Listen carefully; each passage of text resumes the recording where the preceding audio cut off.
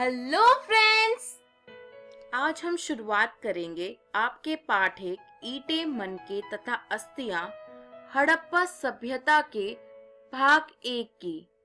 दोस्तों, इस वीडियो में हम इस पाठ में इस्तेमाल हुए कुछ पारिभाषिक शब्द, स्थान तथा काल को पढ़ेंगे। दोस्तों, फिर हम हड़प्पा सभ्यता के आरंभ के बारे में जानेंगे। फिर हम जानेंगे निर्वाह के तरीके। व कृषि प्रौद्योगिकी को अंत में हम मोहन जोदड़ो के बारे में पढ़ेंगे। दोस्तों, इतिहास पढ़ते समय आपने बहुत बार ईसा पूर्व या ईसवी का इस्तेमाल होते हुए अपनी पुस्तक में देखा होगा। तो चलिए दोस्तों, पहले हम जानते हैं ईस्वी या ईसा पूर्व किसे कहा जाता है। दोस्तों, ईसा पूर्व और ईस्वी समय के लिए इस्तेमाल किया जाता है। दोस्तों, समय काल को हम एक टाइमलाइन यानी कि समय की रेखा द्वारा देखने की कोशिश करेंगे।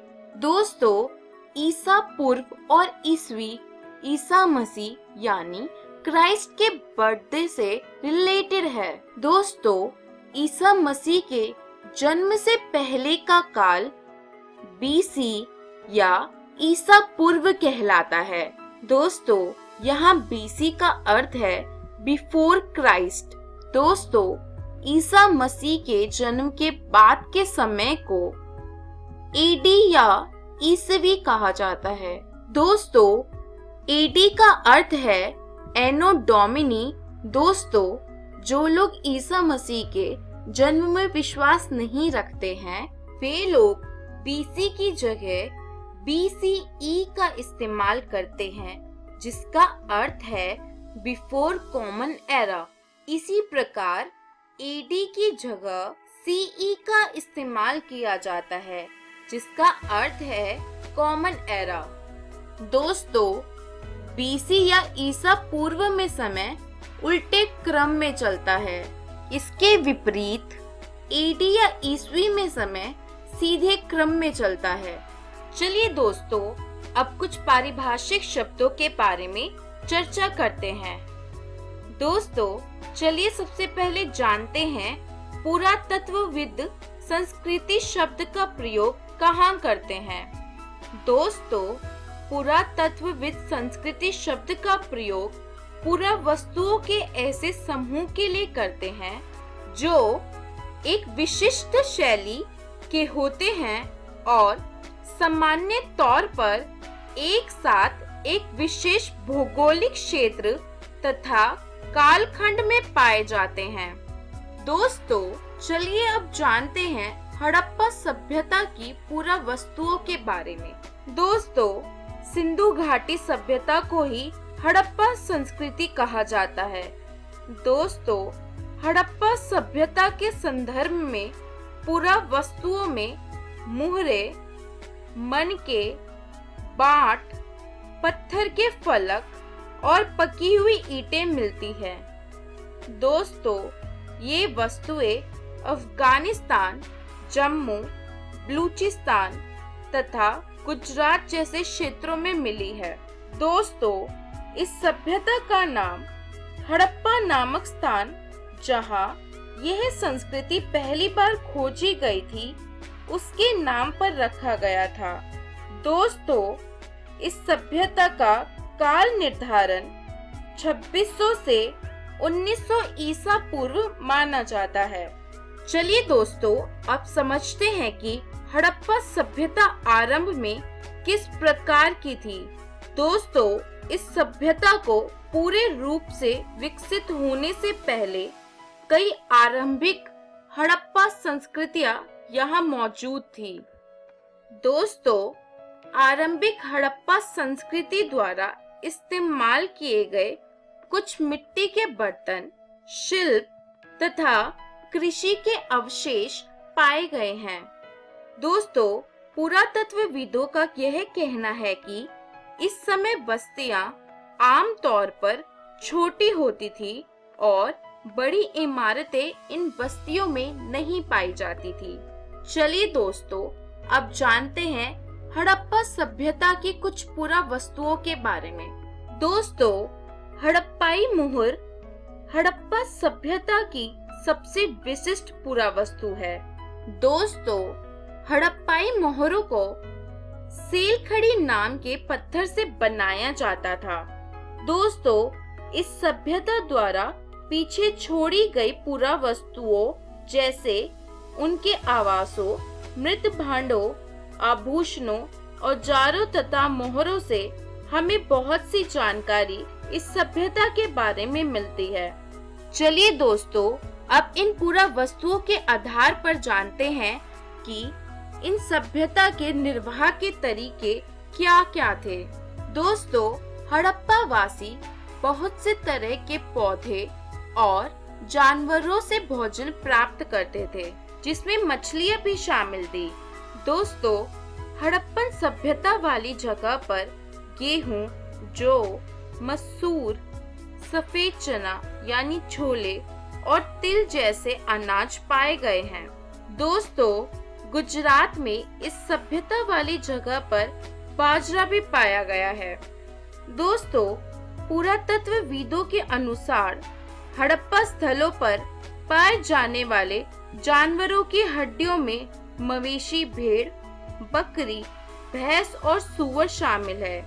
दोस्तों, आर्कियोलॉजिस्ट द्वारा किए गए अध्ययनों से ये पता चलता है कि ये जानवर पालतू थे। चलिए दोस्तों, आगे बढ़ते हैं और जानते हैं उस समय की कृषि प्रौद्योगिकी के बारे में। दोस्तों पुरातत्व विदों को अभी तक यह स्पष्ट तरीके से नहीं पता चला है कि हड़प्पा सभ्यता के लोग कृषि किस प्रकार करते थे। दोस्तों, कृषि से रिलेटेड कई सारे प्रश्न हमारे सामने हैं, जैसे कि क्या जुताई गई ज़मीन पर बीजों का छिड़काव किया जाता था? दोस्तों, इसी के साथ मुहरों और टेराकोटा की मूर्ति कला को देखकर ये पता चलता है कि बैल का इस्तेमाल कृषि के लिए भी किया जाता था। दोस्तों, हल के टेराकोटा मॉडल चोलिस्तान और बनवाली में पाए गए हैं। दोस्तों पुरातत्वविदों को काली बंगन में एक हल्के मैदान का सबूत भी मिला है। दोस्तों, यहाँ दो फ़सलें एक साथ उगाई जाती थी, जिसको बहु फ़सल की तकनीक भी कहा जाता है। दोस्तों, हड़प्पा सभ्यता का सबसे अनूठा पहलू शहरी केंद्रों का विकास था। आइए, ऐसे ही एक केंद्र मोहन जोदड़ो के बारे में पढ़ते हैं। दोस्तों, यह बस्ती दो भागों में विभाजित थी। दोस्तों, पहला खंड दुर्ग कहलाता था। जो छोटा लेकिन ऊंचाई पर बनाया गया था और दूसरा खंड अधिक बड़ा लेकिन नीचे बनाया गया था। दोस्तों, दुर्ग ऊँचा था क्योंकि वह मिट्टी के ईटों के बने चबूतरे पर बना था। इसके चारों तरफ़ दीवारें थी जो उसे नीचे शहर से अलग करती थी। दोस्तों निचले शहर की भी दीवारें थी और कुछ इमारतें चबूतरे पर भी बनी थी, जो कि नींव का काम करती थी। दोस्तों, हड़प्पा सभ्यता की सबसे विशिष्ट विशेषताओं में से एक सावधानी पूर्वक नियोजित जल निकासी पद्धति थी। दोस्तों, इसके लिए उपयोग की जाती थी ईटे, जो धूप में सुखाई जाती थी। और मानक अनुपात की थी।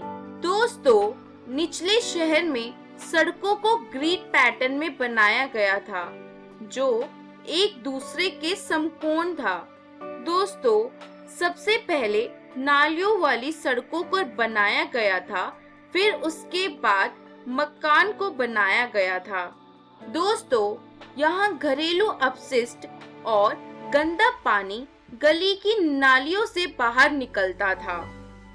दोस्तों, उस समय के घर एक आँगन पर केंद्रित थे और उसके चारों तरफ़ कमरे होते थे। दोस्तों, पुरातत्वविदों का मानना ये है कि आँगन शायद खाना बनाने के लिए और बुनाई जैसे कामों के लिए इस्तेमाल किए जाते थे, खासकर गर्मी और शुष्क मौसम के समय। दोस्तों ये माना जाता है कि वहाँ एकांता बनाए रखने के लिए बहुत कम खिड़कियाँ थी दोस्तों, इन घरों में कई विशेषताएँ भी थी, जैसे स्नान घर सीढ़िया और व्यक्तिगत कुएँ।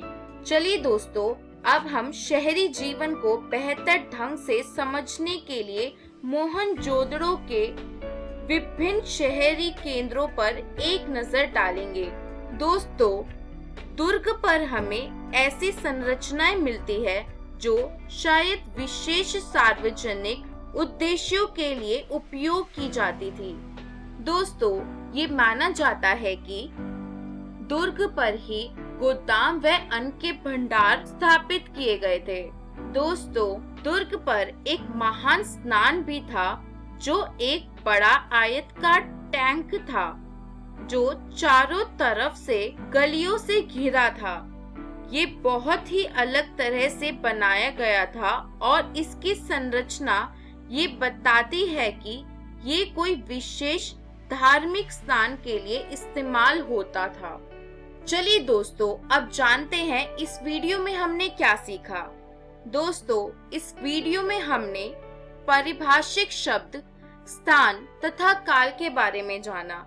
हमने जाना कि हड़प्पा सभ्यता का आरंभ कैसे हुआ। उसके बाद हमने देखा कि हड़प्पा सभ्यता के निर्वाह के तरीके क्या थे और हड़प्पा की कृषि प्रौद्योगिकी के बारे में हमने जाना। दोस्तों, इसके बाद हमने हड़प्पा के एक शहरी केंद्र मोहन जोदड़ो के बारे में पढ़ा। अगली वीडियो में हम हड़प्पा सभ्यता की सामाजिक विभिन्नता के बारे में, शिल्प उत्पादन के बारे में और व्यापारिक संबंध के बारे में जानेंगे।